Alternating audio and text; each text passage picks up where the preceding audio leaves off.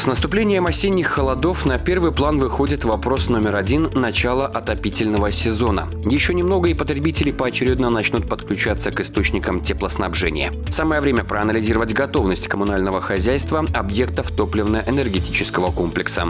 Один из главных источников света и тепла в нашем регионе – Гомельская ТЭЦ-2. Станция вырабатывает 30% тепловой энергии в области. Построенная в 1986 году, она постоянно совершенствуется. В текущем году на предприятии реализован ряд энергоэффективных проектов. Капитальный ремонт энергоблока номер 3 мощностью 180 мегаватт стал частью плановой подготовки к предстоящему осенне-зимнему периоду. За счет этого э, ремонта мы достигаем повышения э, КПД проточной части турбины. Естественно, повышается эффективность работы турбинного оборудования, и это сказывается на, на снижении удельных расходов топлива на электроэнергию. Что касается котельного оборудования, то на котле были выполнены большие работы по замене уплотнений, регенеративных воздухоподогревателей. Были выполнены работы по кислотной промывке котла номер 3 парового. Во время этих работ, естественно, э, снижаются отложения на котле. И за счет снижения отложения снижается температура уходящих газов. Естественно, увеличивается КПД котла. И это сказывается в целом на экономичности котельного оборудования. Сегодня регламентные работы продолжаются на энергоблоке номер один. Ориентир на повышение надежности и экономичности работы энергетического оборудования. Так, в первом полугодии за счет энергосберегающих мероприятий на станции сэкономлено более 1200 тонн условного топлива.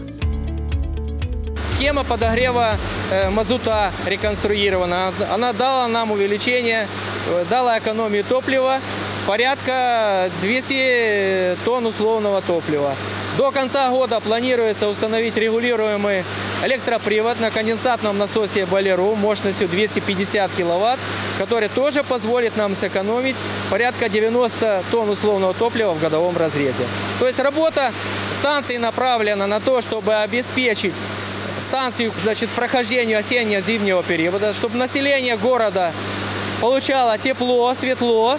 Ну и, естественно, мы снижали свои удельные расходы, то есть добивались экономичности оборудования. Одновременно на Гомельской ТЭЦ-2 проводится комплекс работ по интеграции станции в белорусскую энергосистему с вводом БелАЭС. Гомельчане первыми в республике в рамках пилотного проекта в 2016 году установили два электрических котла общей мощностью 80 мегаватт которые будут использоваться при работе атомной станции в ночные провалы электрических нагрузок, будут Э, значит, за счет электроэнергии вырабатывать тепловую энергию, но высвобождать электрическую энергию, которая будет э, значит, направлена на то, чтобы атомная станция находилась в базе и вырабатывала как можно больше электроэнергии с более лучшими технико-экономическими показателями. Следуя известной поговорке, традиционно подготовка к зиме начинается весной, сразу же после завершения отопительного сезона. В этом году в связи с погодными условиями и эпидемиологической ситуацией он как никогда затянулся до начала июня. Это внесло коррективы в график работ гомельских тепловых сетей. Пришлось работать в напряженном и ускоренном темпе. Если говорить о подготовке к ОЗП в рамках замены тепловых сетей, то в 2020 году уже на 1 сентября мы поменяли из запланированных э, почти 13 километров э, более 9 километров. Э, из них это порядка 3,5 километра – это капитальный ремонт, и остальные по реконструкции тепловых сетей. Все ремонты и реконструкции проводятся в соответствии с современными требованиями. Реконструкция производится с заменой трубопроводов изношенных на предизолированные. Это современное, эффективное, экономичное э, оборудование, которое будет э, работать э, с пониженными тепловыми потерями, тем самым будем иметь экономический эффект. Чтобы обеспечить надежное и бесперебойное тепло- и электроснабжение региона, энергетики провели ремонт по всем участкам основного и вспомогательного оборудования, а также активно готовились к вводу в эксплуатацию БелАЭС. В этом году раньше планируемого срока завершили строительство котельной с установкой двух электрокотлов по улице Черниговская, 22А областного центра. Данный проект позволит э, регулировать э, нагрузку энергосистемы э, в часы минимального ее потребления.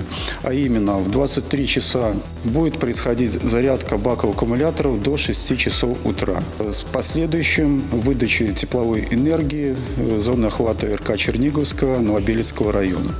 Это э, позволяет трансформировать электрическую энергию в тепловую э, и выдавать нашим потребителям. Также в этом году мы э, забрали нагрузку еще от двух котельных жилищно-коммунального хозяйства на энергоисточники э, РУП Гомельэнерго на Гомельские тепловые сети. Это две котельные по улице Димитрова, 26 и Ильича, 32 данные э, источники, которые мы забрали, источники энергии на э, Гомель-Энерго, позволят сэкономить э, топливо порядка 600 тонн условного топлива. Это хороший экономический эффект.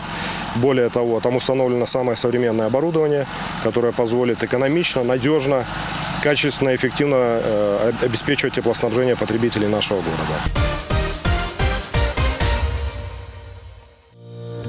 Приоритетными направлениями в работе предприятия Гомель-Облтеплосеть является реконструкция, ремонт теплосетей, котельного оборудования центральных тепловых пунктов. Ставка делается на гидравлические испытания теплосетей с повышенным давлением. Это позволяет выявить более 90% всех повреждений. И уже в отопительный период работать без сбоев и аварийных остановок. Вот лишь некоторые цифры выполненных работ в рамках подготовки к нынешнему отопительному периоду. Гидравлические испытания теплосетей – 496 километров. Профилактический ремонт – 17 котельных. Профилактический ремонт – 100 тепловых пунктов. Реконструкция – 13 километров теплосетей. Особое внимание объектам социальной сферы. Так, на территории школы и детсада Новобелецкого района по улице Деревообделочная 1 проведена модернизация старой котельной, в ходе которой полностью заменено оборудование и установлены два котла, работающие на топливных пеллетах местные виды топлива, которые являются экологически чистым. Э, они изготавливаются из э, отходов деревообработки, стружки, опилок, э, ну и других. Значит, основным преимуществом пилет является то, что они, первое, это экологически чистое э, топливо, очень э, низкий выброс это один из э, самых современных, так как он позволяет, во-первых, уменьшить удельный расход топлива на одну геокалорию, ну а также снизить затраты за счет оптимизации численности, так как работает котельная полностью в автоматическом режиме. Топливные гранулы позволяют работать котельной в автоматическом режиме круглосуточно, без постоянного присутствия обслуживающего персонала. Все сигналы по режиму температуры, давления передаются на диспетчерский пульт предприятия. Реализация данного проекта позволила предприятию снизить удельный расход топлива с 212 кг условного топлива на геокалорию до 167 э, кг условного топлива на одну геокалорию. Значит, и позволило сэкономить 25 э, тонн условного топлива при реализации данного проекта. Котельные на пилетах сегодня, что называется, в тренде. Они работают в Петриковском, Мозырском, Ветковском районах. Этому способствует и сама природа. Более 40% территории Гомельщины занимают леса, а значит недостатка в сырье не будет. Отходы в доходы. По такому принципу в нашей области введены в строй два новых предприятия по изготовлению современного вида топлива. Самый крупный в Беларуси завод открыт в Мозырском районе, а также цех в Житковичском. Новое производство в том числе позволят выйти и на зарубежные рынки. Ведь экологические гранулы активно используют в странах Европы и считают отличной альтернативой газу. А по своей теплотворной способности сравнивают с каменным углем.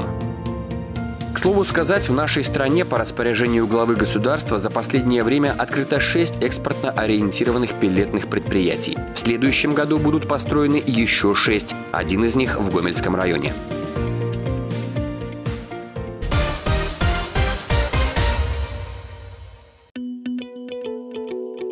Целом, организациями Гомельской области проведен большой объем работ к предстоящему осенне-зимнему периоду. Несмотря на то, что в этом году работы велись в более сложных финансовых условиях, так как значительные средства отвлекались на борьбу с коронавирусом. Тем не менее, как отмечалось на заседании облсполкома, коммунальные службы области выполнили практически весь комплекс работ, а это порядка 50 наименований и полностью готовы к работе. Паспорта готовности до 17 сентября получили все теплоисточники, и это лучший результат в республике.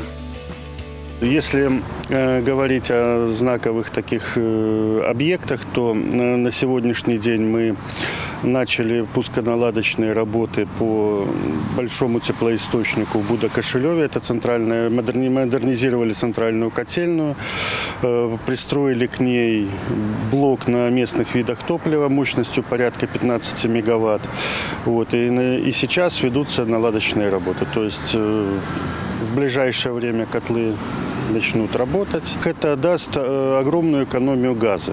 То есть котельная будет работать на местных видах топлива э, практически круглый год. Мы заготовили топливо 100%. Даже это касается топочного мазута. Что касается местных видов топлива, то Э, здесь мы даже и перевыполнили план. Более 100% у нас заготовлено дров, э, древесной щепы. Вот. Так что отрасль у нас э, готова к работе в отопительный сезон. И я думаю, он пройдет, как обычно, в плановом режиме, без каких-либо нештатных ситуаций. Тепло должно пойти во все дома вовремя, в полном объеме и без потерь. С этой целью тепловые пункты многоквартирных жилых домов с центральной системой отопления почти на 100% оснащены групповыми приборами учета расхода тепловой энергии и системами автоматического регулирования. Львиная доля бюджета э, идет на подготовку жилого фонда. Это ремонт входных групп, ремонт э, именно дверей, входов, входа в места общего пользования. Остекление мы проводим в больших масштабах. Поэтому большая просьба как можно бережнее к этому отнестись, не разбивать, вандальных надписей не делать в подъездах. Так как это является ваше основное жилой, жилой фонд, ну, нужно это беречь. Предприятия региона стараются предусмотреть все до мелочей, чтобы на пороге отопительного сезона организовать теплый прием осенних холодов, а в наших квартирах был комфорт и уют. Ведь как зиму встретишь, так и проведешь.